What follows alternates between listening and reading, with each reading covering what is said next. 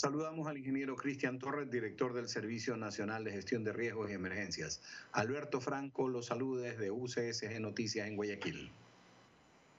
Muy buenos días, Alberto. Un saludo grande para todos los que nos escuchan también el día de hoy.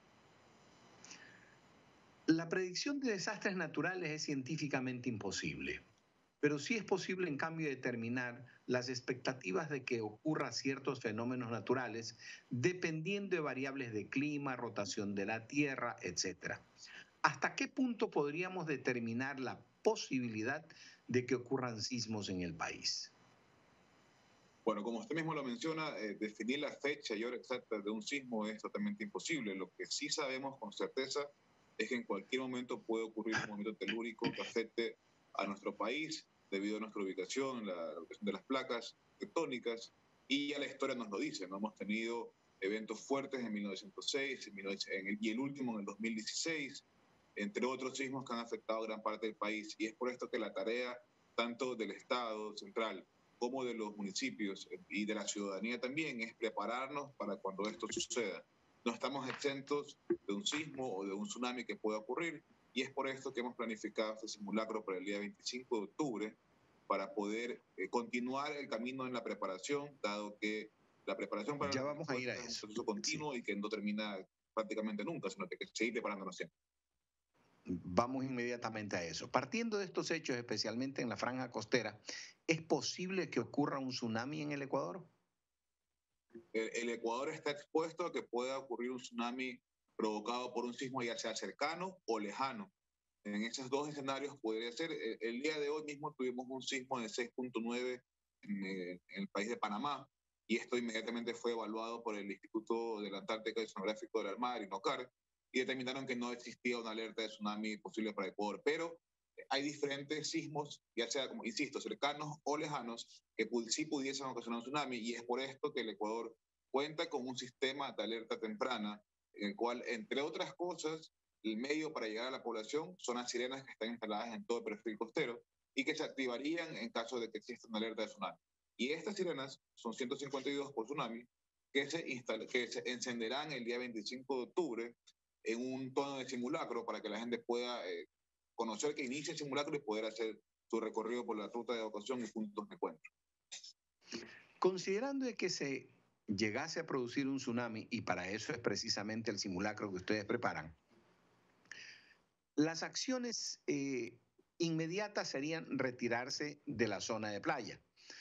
¿Hasta qué punto ustedes consideran que podría ser el retiro que ya genere seguridad a las personas eh, cuando ya salgan de playa? Más allá del retiro, lo que tenemos que considerar es la altura de donde se encuentra la persona. Sí.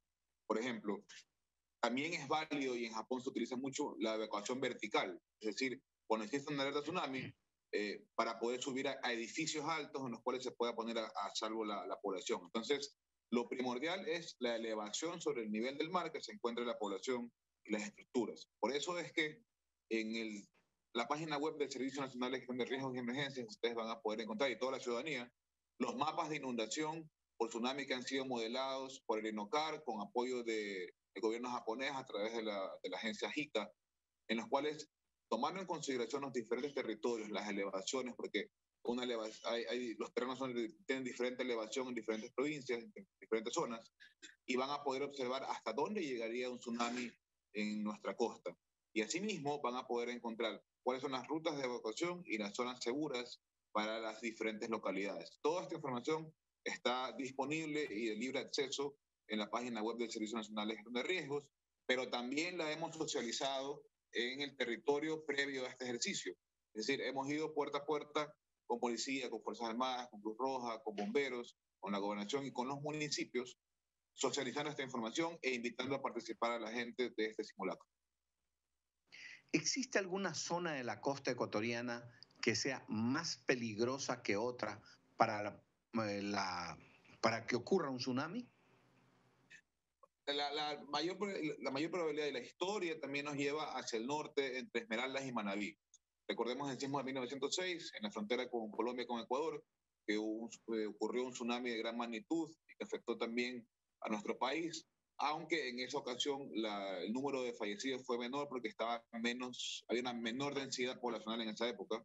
Ahora la situación es muy distinta, hay mucha más infraestructura y mucha más población, por lo cual tendríamos una, tendríamos una mayor afectación en caso de que no se evacúe. Entonces, eh, sin embargo, también estamos expuestos a que un tsunami de origen lejano que, se, que suceda en alta mar pueda también afectar a la zona sur, en, zona, en la zona del Oro y en la zona de Manaví también inclusive.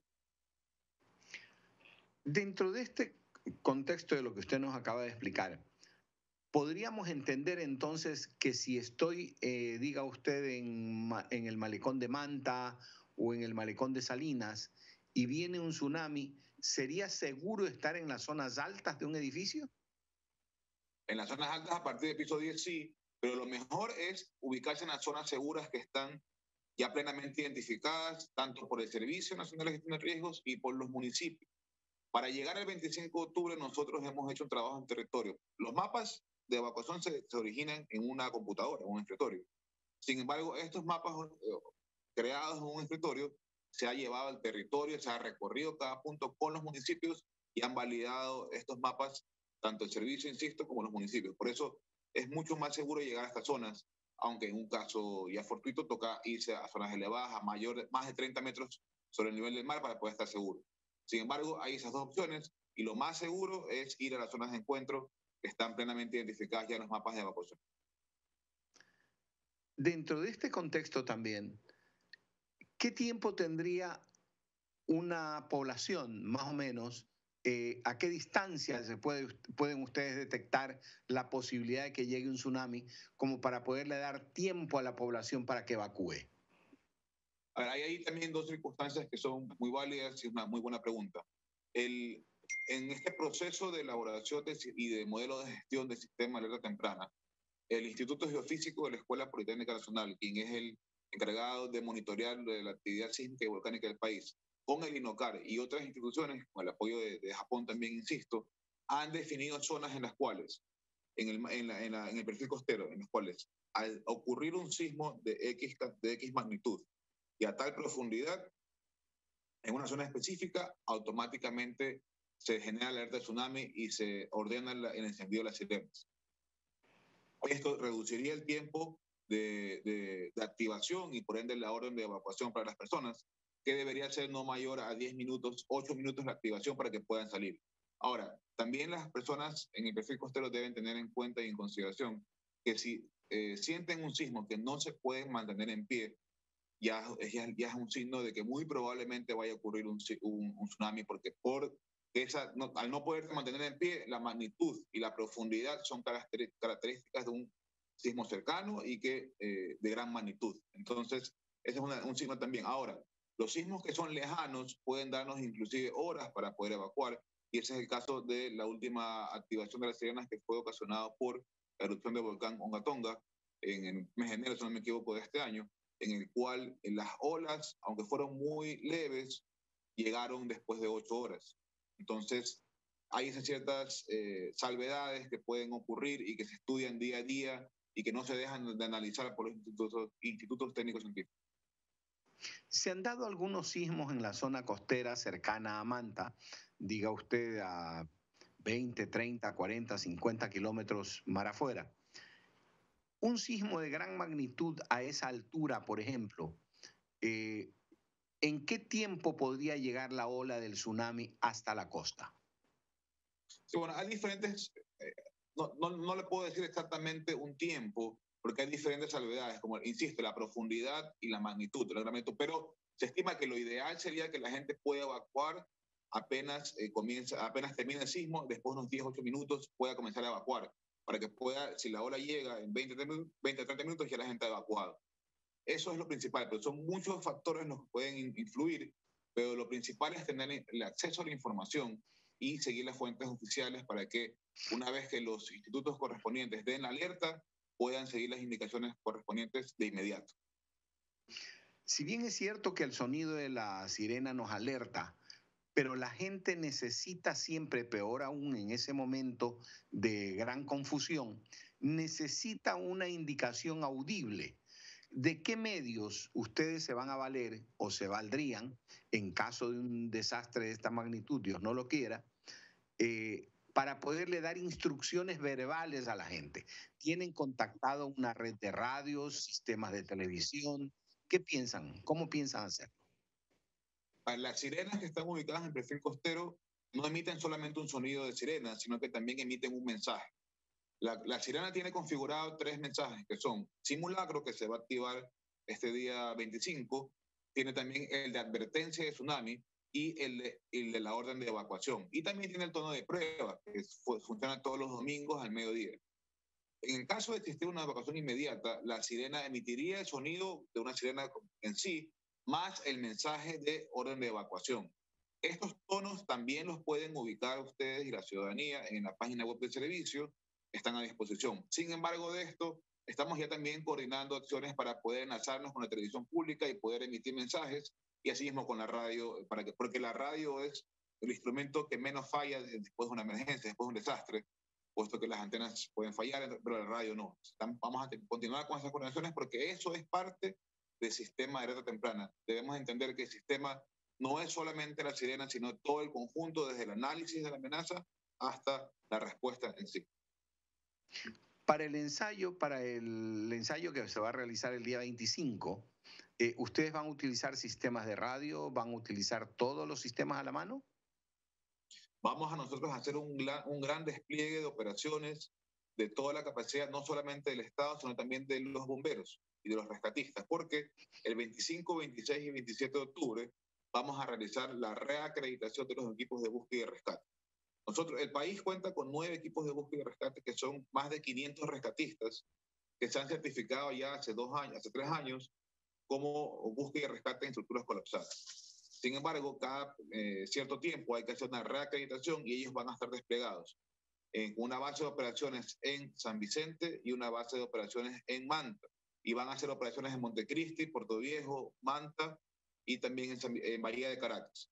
Todos ellos van a estar haciendo estas operaciones y van a, al día, el día jueves 28 a 27 ya terminar con la reacreditación si es que todo sale bien y han aprobado todos los parámetros del caso. Eso quiere decir que va a haber un gran despliegue, en este caso, en este año en la provincia de Manabí, todos los bomberos y los rescatistas van a, porque también tenemos rescatistas de Cruz Roja y de la Comisión de Tránsito del Ecuador, todos ellos van a utilizar todas sus herramientas y equipos de telecomunicaciones, de, campamentación y obviamente de búsqueda y rescate en, el, en Manabí y asimismo el Servicio Nacional de Gestión de Riesgos va a utilizar todo su despliegue. También va a haber la activación de los COE provinciales y COE cantonales, los comités de operaciones de emergencia, liderados por sus respectivas autoridades, eh, gobernador en caso de la provincia y alcalde en caso de municipios, y van a también tener una simulación con mensajes eh, parecidos a los que pudiese ocurrir en un sismo.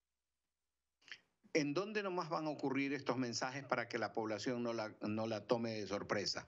¿Guayas, Manabí, Santa Elena? ¿Dónde nomás? Sí, el simulacro se va a realizar y los jueves provinciales se van a activar en la provincia de Esmeraldas, Manabí, Guayas, Proposorja, El Oro y Galápagos.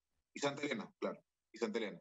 Entonces, esto no, no va a haber mayor eh, de los mensajes que se simulen en los COE, mayor alerta porque van a ser ejercicios de escritorio en, en, lugares que no, no, no se va a publicar esos mensajes, ¿no? Entonces no va a haber mayor inconveniente con eso. Lo único que la población va a tener que escuchar el día 25 son las sirenas en tono de simulacro y una vez que las escuche, hacer el ejercicio de evacuación. Entonces, para que la gente esté atenta y no se preocupe porque es un simulacro. Le agradecemos muchísimo, ingeniero Torres, por habernos acompañado esta hora en la mañana. Muchas gracias, Alberto. Un gusto para todos y siempre a las órdenes para estar en, en esta radio. Gracias. Estuvo con nosotros el ingeniero Cristian Torres, director del Servicio Nacional de Gestión de Riesgos y Emergencias, con, dándonos los datos sobre el simulacro nacional de tsunami.